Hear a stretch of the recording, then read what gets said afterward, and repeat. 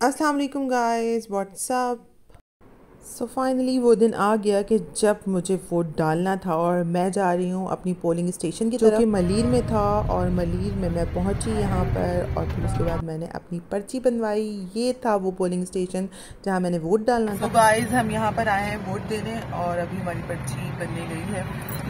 So let's wait so so finally पर्ची भी बनकर आ गई और फिर उसके बाद हम गाइस मेरे साथ प्रैंक हो गया क्योंकि मेरा यहाँ पर इंदराज हुआ हुआ ही नहीं था और आई डोंट नो क्या हुआ मैं वोट नहीं दे तो ये है हमारी हुकूमत यहाँ की। कि मेरा नंबर ही नहीं था मेरा नाम ही नहीं था क्योंकि मैं इंदराज करवा चुकी फिर मैं यहाँ पर आई अपनी डिटेल्स लेकर मैंने इनको बताया कि अंदर मेरा नाम रजिस्टर नहीं हुआ हुआ मेरा नंबर था फिफ्टी फाइव और 55 नंबर पे किसी निदा नामी ख़ातून का नाम था और मेरा नाम नहीं था। तो ये भी क्लूलेस थे, क्योंकि इनको भी कुछ ख़ास पता नहीं था। वोट डे वाले दिन इलेक्शन वाले दिन बड़ी गहमा गहमी थी, बड़ा अच्छा सा माहौल था। फिर उसके बाद मैं पहुँची राजपूत बिरयानी खाने, क्योंकि वोट तो गाइस मैं नहीं डाल पाई। मेरी नसीब में नहीं था कि इस बार मैं वोट डाल पाऊँ। तो मैंने सोचा कि क्यों ना मैं बिरयानी लूँ और बिरयानी डाल लूँ अपने पेट में।